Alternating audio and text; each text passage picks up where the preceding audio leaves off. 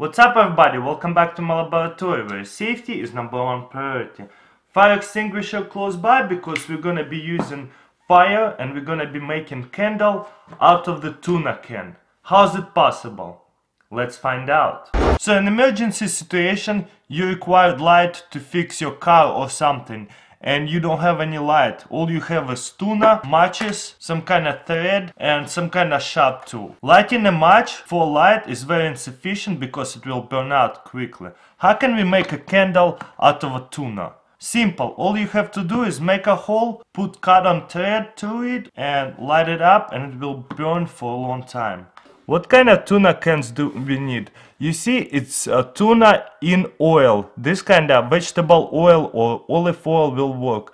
But if it's tuna in water, it's not going to work. We need a tuna in oil. So very important, where to look for tuna in oil. It should be saying here or on a side over here.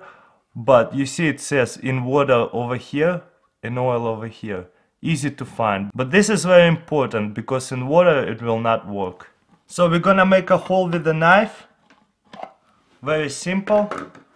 Put the thread through and push it through as much as you can. Once the oil come out of the can a little bit, kind of rub it in this thread inside in the oil. Then just cut the rest and it's ready to be lit.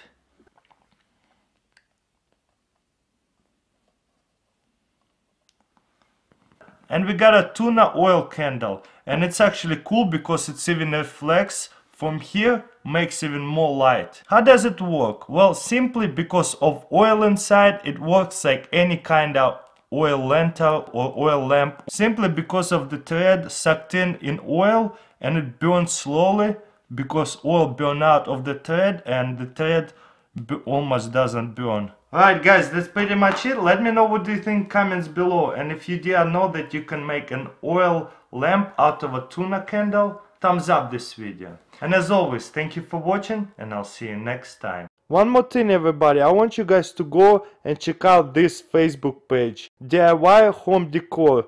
Click over here, like. You see I already like it. Just look how much cool ideas they have. I can keep scrolling and scrolling. If you feel like you want to do something cool, you can just scroll through and get some ideas. Look, they are so awesome.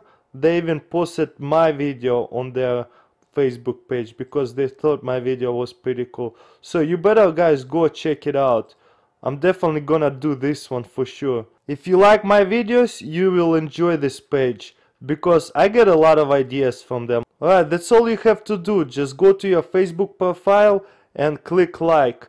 Links in description for this Facebook page or click on like over here right now. Alright guys, thank you and I'll see you next time.